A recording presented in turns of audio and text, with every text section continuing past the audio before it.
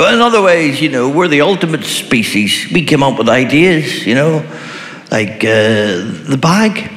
Great idea. You know, other animals don't have a bag. You know, they'd love a bag. Emperor penguin, they have to go off to sea for six months, come back, chick starving, hasn't eaten in six months, and the mother comes up and goes, They'd love a bag.